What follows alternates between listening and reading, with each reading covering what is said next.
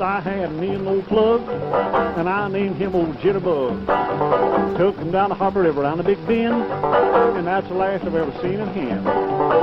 Told him over there by a big old rock, big smallmouth bass kitty mar laying on the top. He come out of the water about 12 foot high. I could see that old jitterbug me in the sky. Well, he hit the water with an awful thud, and I said goodbye, old jitterbug.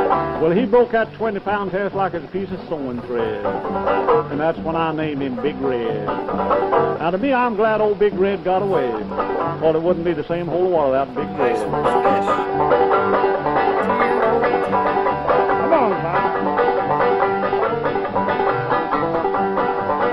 Well, I bait my hook and I give it a flip and I caught that pretty girl by the lip. Well, give me the hook and give me the line, give me that pretty girl I caught. Jack went a fishing and he was cold fish baldy and I caught that bull. Well, quick old hen and a cook two chicken and a quick old hen. They'll all go fishing, all go fishing, all go fishing. You caught that fish. Say cheese. Look.